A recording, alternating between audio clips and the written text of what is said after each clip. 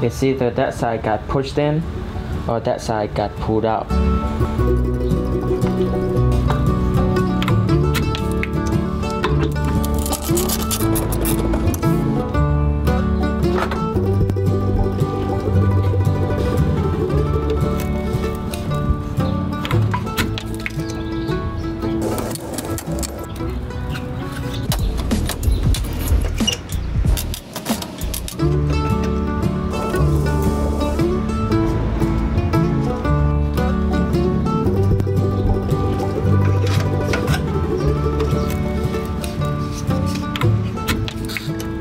Thank you.